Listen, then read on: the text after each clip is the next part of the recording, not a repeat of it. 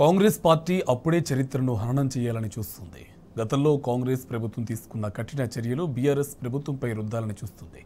రెండు వేల పన్నెండు నాటి ప్రత్యేక రాష్ట్ర ఉద్యమ తీవ్రతను తట్టుకునేందుకు నాడు బేగంపేటలో ఉన్న సీఎం క్యాంప్ ఆఫీస్ ప్రవేశం వద్ద నాటి కిరణ్ కుమార్ రెడ్డి ప్రత్యేక కంచును ఏర్పాటు చేశారు. దాన్ని బీఆర్ఎస్ ప్రభుత్వమే ఏర్పాటు చేసిందని నేటి కాంగ్రెస్ ప్రభుత్వం బుకాయిస్తుంది. వాళ్ళు ఏర్పాటు చేసిన కంచెను వాళ్ళే తొలగించి గొప్ప నిర్ణయంగా అభివర్ణించడంపై సోషల్ మీడియాలో నెటిజన్లు సెటైర్లు వేస్తున్నారు.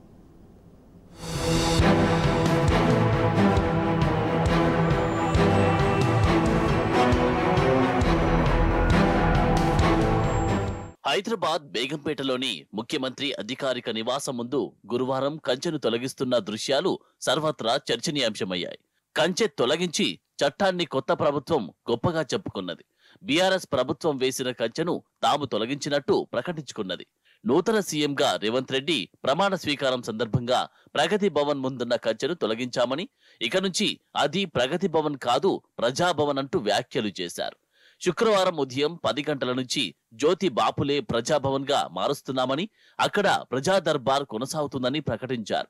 అయితే ఎలక్ట్రానిక్ మీడియాతో పాటు దాదాపు అన్ని సామాజిక మాధ్యమాల్లో ప్రగతి భవన్ ముందు తొలగిస్తున్న దృశ్యాలు తొలగించిన దృశ్యాలు ప్రసారమయ్యాయి. అదే సమయంలో అసలు ప్రగతి భవన్ ముందు ముళ్ళ కంచె వేసిందే కాంగ్రెస్ హయాంలో అంటూ అసలు విషయాన్ని అదే ప్రసార మాధ్యమాలు బయటపెట్టాయి.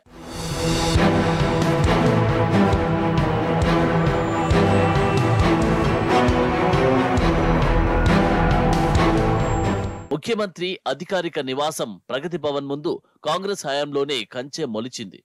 తెలంగాణ ఉద్యమ సమయంలో ఉద్యమకారులు అనేక ముట్టడి కార్యక్రమాలకు పిలుపునివ్వడం సీఎం క్యాంపు కార్యాలయ ముట్టడికి బయలుదేరిన అనేక సందర్భాల్లోనూ ముళ్ళ కంచె ఎదురయ్యేది. భారీ పోలీసు భద్రతా ఏర్పాట్ల దృశ్యాలు కోకొల్లలు. అనుమతి లేనిదే లోనికి వెళ్ళకూడదు. లోనికి వెళ్ళందే అనుమతి లభించదు అనే రీతిలో సీఎం క్యాంపు ఆఫీస్ ముందు వాతావరణం ఉండేది. ఉమ్మడి రాష్ట్రంలో కాంగ్రెస్ ప్రభుత్వ హయాంలోనే కంచె మొలిచిందని గురువారం సోషల్ మీడియాలో పోస్టులు వైరల్ అయ్యాయి ముఖ్యమంత్రి అధికారిక నివాసంలోకి వెళ్ళే ప్రతి వాహనాన్ని వాహనంలో ఉన్న వాళ్ళను తనిఖీ చేశాకే లోపలికి పంపిస్తున్న రెండు వేల పన్నెండు నాటి వీడియోలు క్లిప్లు మీడియాలో వైరల్ అవుతున్నాయి రాష్ట్ర సాధన అనంతరం ముఖ్యమంత్రి అధికారిక నివాసాన్ని సుందరీకరించారు. ఈ క్రమంలో ముందున్న కంచెను పటిష్టం చేశారు. అంతేకాకుండా ఎండనక వాననక అక్కడ విధులు నిర్వహించే భద్రతా సిబ్బంది కోసం షెడ్ వేసి కట్టుదిట్టమైన చర్యలు చేపట్టారు. ముఖ్యమంత్రి అధికారిక నివాసానికి మరమ్మతులు వంటి విషయాలపై అసెంబ్లీలో చర్చ జరిగిన సందర్భంలో సీఎం హోదాలో కేసీఆర్ స్పష్టంగా వెల్లడించారు. ప్రగతి భవన్ కేసీఆర్ సొంత భవనం కాదని అది తెలంగాణ ప్రజల ఆస్తి అని ఆయన స్పష్టం చేసిన సందర్భాలున్నాయి.